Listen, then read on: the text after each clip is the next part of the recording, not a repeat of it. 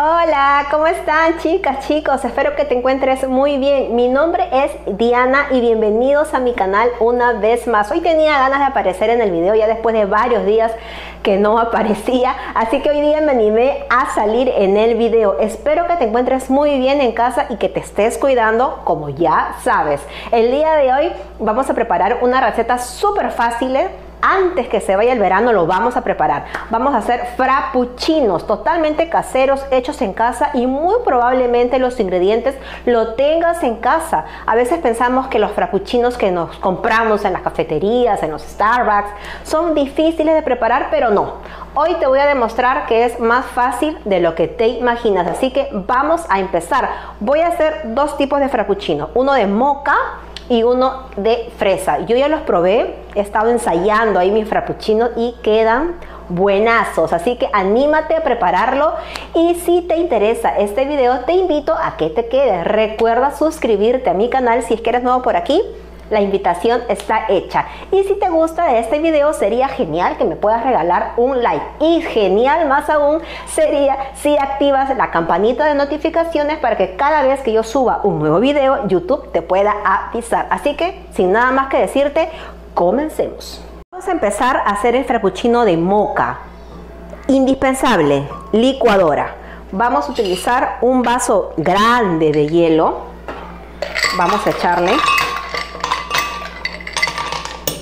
vaso de hielo. Yo aquí tengo un tercio de vaso de café instantáneo que está frío, no está caliente. El café instantáneo de tu preferencia. Eh, es así como tú lo preparas en tu desayuno. Tal cual, haces el café como para tu desayuno, separas un tercio de taza, un tercio de vaso, no le agregues azúcar y se lo vamos a agregar a la licuadora. Acá tengo un tercio de vaso de leche evaporada, que también puede ser leche fresca, la de tu preferencia también. Vamos a agregarle también unas chispitas de chocolate, un poquito como para que le dé un toque, y vamos a echarle Foch, más conocido como chocolate líquido como tú lo conozcas. Vamos a agregarle aproximadamente unas dos cucharadas soperas de Foch. Y listo. Nada más que eso. Ahora esta mezcla se va a licuar. Ya decía yo que me estaba olvidando un ingrediente. Yo voy a utilizar stevia, pero si tú deseas puedes agregarle azúcar blanca, azúcar morena, la de tu preferencia. El stevia usualmente viene con sus cucharitas medidoras. Acá está, acá está, acá está, acá está, acá está. Ahí está.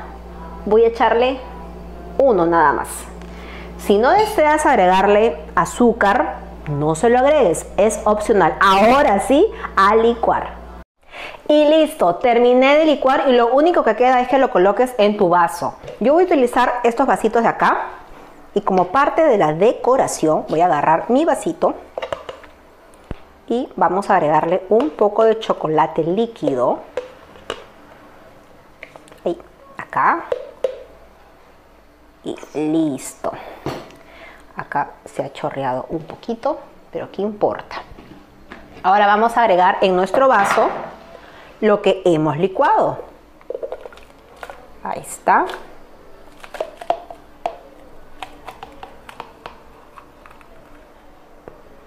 Perfecto. Vamos a limpiar un poquito. Y listo, ha quedado así. Mira la pintaza que tiene. Para finalizar vamos a agregarle chantilly. Listo.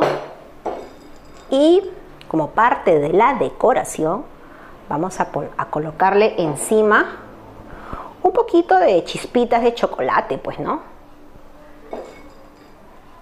Mira la pintaza que tiene. Créanme que es buenazo. Vamos a agregarle un poquito más. Listo. Y vamos a agregarle un poquito de chocolate líquido encima. Espero que lo preparen en casa. Y ha quedado así mi frappuccino de moca. Vamos a probarlo.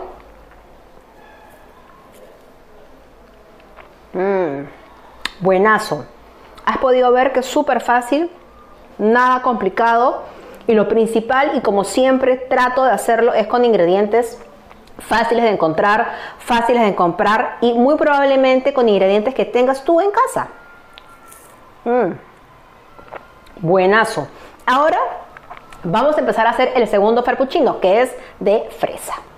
Para nuestro frappuccino de fresa te sugiero que las fresas estén totalmente congeladas. Es mejor si las tienes congeladas. Aquí tengo una taza exacta de fresas congeladas.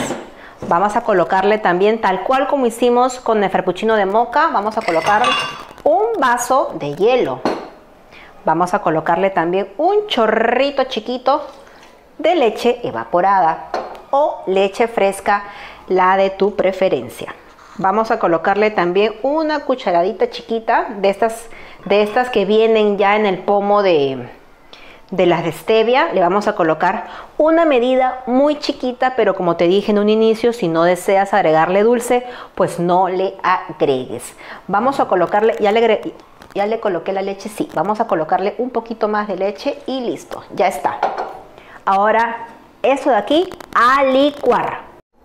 Y listo, ya terminé de licuar mi frappuccino de fresa. Voy a utilizar otra vez otro vasito de estos. Estos vasitos son de 500 mililitros. Pero como te, repito, como te repito, como te digo, puedes utilizar los vasos que tengas en casa, el que tú quieras. Como parte de la decoración, como estamos usando frappuccino de fresa, yo en el fondo voy a colocar un poquito de mermelada de fresa. Vamos a embarrar un poquito de mermelada de fresa como para que le dé un toque, ¿no? Le dé un colorcito, un colorcito bonito. Listo, vamos a colocar un poquito más.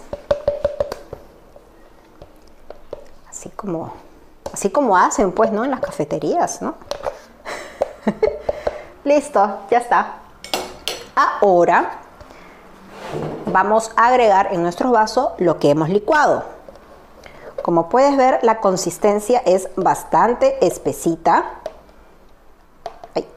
va a caer bastante. Espérate, vamos a colocarlo acá mejor. Voy a colocarlo acá y ahorita les muestro cómo queda. Colocamos todo. Listo, ya está. Miren nomás Miren nomás cómo queda. Vamos a agregarle tal cual como hicimos en el de moca. Vamos a agregarle un poco de crema batida encima o chantilly como lo conozcas en realidad. Vamos a limpiar el borde y listo.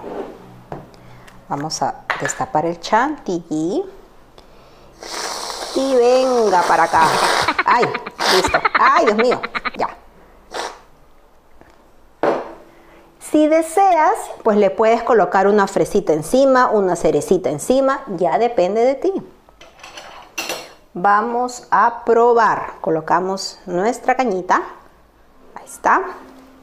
Tiene buena pinta, así que vamos a probarlo. Mmm, riquísimo, es poco. Como te has podido fijar, súper fácil, nada complicado y anímate a prepararlo en casa. Puede ser para un fin de semana, como para ver unas películas, para lo que tú quieras en realidad. Espero que, te haya, espero que te haya gustado la receta y ahora te voy a mostrar los dos que tal me quedaron.